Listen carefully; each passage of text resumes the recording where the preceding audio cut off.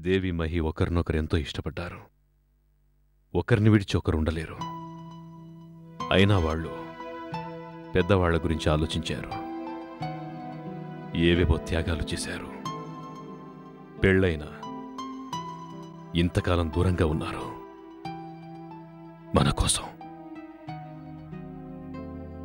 వాళ్ళను కలపడం ఇప్పుడు మన బాధ్యత.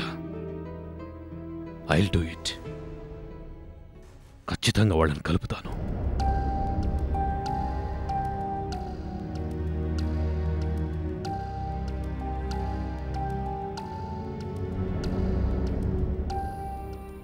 ఈలోగా మీరెవరూ ఆవేశపడకండి. దేవి ఏమైపోతుందా అని మదనపడకండి. తనను కాంటాక్ట్ చేయాలని ప్రయత్నించకండి. Let me handle this. నెమ్మదిగా నేను దేవి మనసు మారుస్తాను. ఇంటికి తీసుకొస్తాను. మహి దగ్గరికి తీసుకొస్తాను.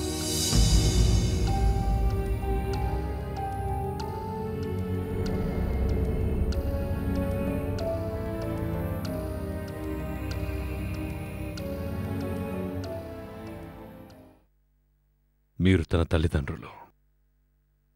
తన కోసం ఆతృతపడడం సహజం. దేవి మహి భార్య. మా కోడలు. తన బాధ్యత ఇక మాది. మా మీద నమ్మకం ఉంటే దేవి విషయం మాకు వదిలేయండి. అయ్యో మీకన్నానా అన్నయ్య గారు? మీరు ఈ మాట అన్నారు. అదే మాకెంతో నిశ్చిద్ద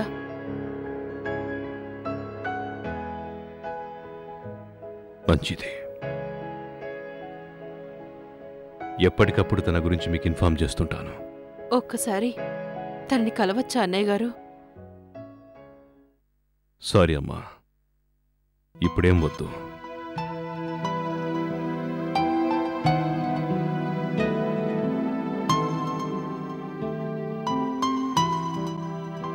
ఇక మేము బయలుదేరుతాం.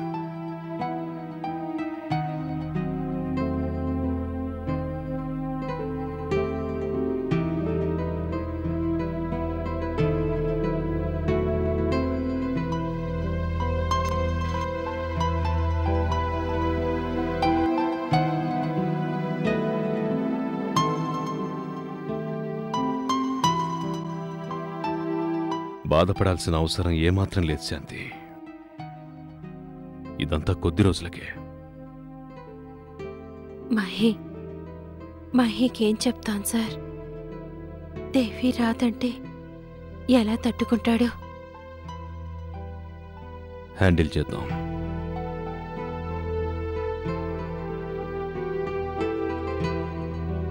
ఎందుకండి ఈ పిచ్చి పిల్ల ఇలా చేస్తుంది? హాయిగా ఇంటికి రావచ్చుగా. చా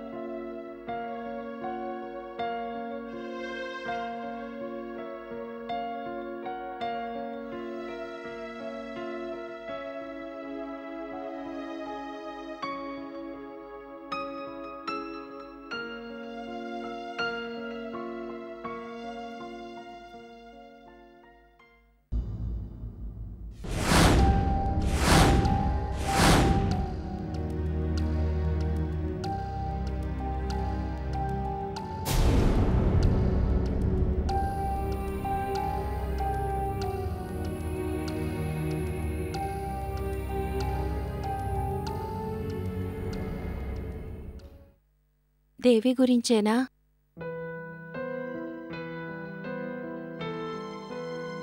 ఈ విషయం గురించి ఎక్కువగా ఆలోచించొద్దని సార్ చెప్పారు కదా శాంతి.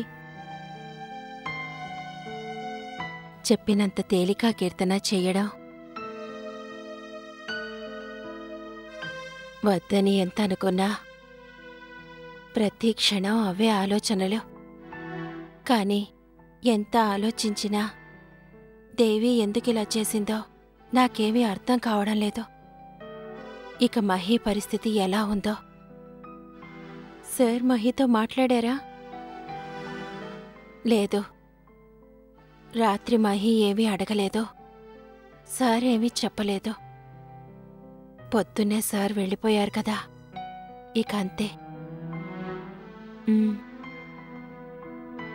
సత్య అన్నయ్య కూడా బాధపడుతూ ఉంటాడు. తన వల్లే ఇదంతా జరిగిందని అనుకుంటూ ఉంటాడు. ఒకసారి అన్నయ్యతో మాట్లాడు కీర్తన.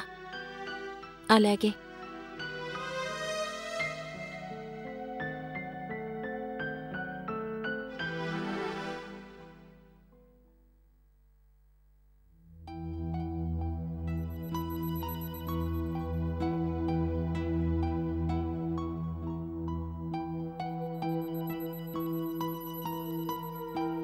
కావాలని చేస్తోంది. ఏంటి?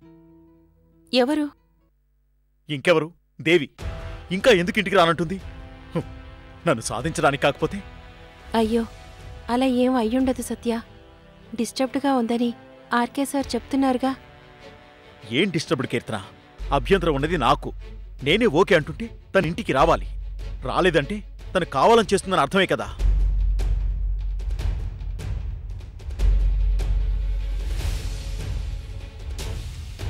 ఇప్పుడు మహి బాధపడతాడు. శాంతి బాధపడుతుంది. ఇద్దరికీ నా మీద కోపం పెరుగుతుంది. అసలు ఇదంతా సెల్వస్వామి ఆడిస్తున్న నాటకం అయి ఉంటుంది. అలా ఎందుకు చేస్తాడు సత్య? ఆయనకేమొస్తుంది అందరూ నన్ను ద్వేషిస్తే ఆయనకి సంతోషమే కదా. ఇలా ప్రతీకారం తీర్చుకుంటున్నాను నా మీద. నేను వాళ్ళ కాళ్ళు పట్టుకొని తనని ఇంటికి పంపించమని ప్రాధాయపడేదాకా ఇలాగే చేస్తారు నాకు తెలుసు. నీచులు కీర్తన వీళ్ళు. ఆర్కే శాంతికి అర్థం కావట్లేదు. మహికి అంతకన్నా అర్థం కావట్లేదు.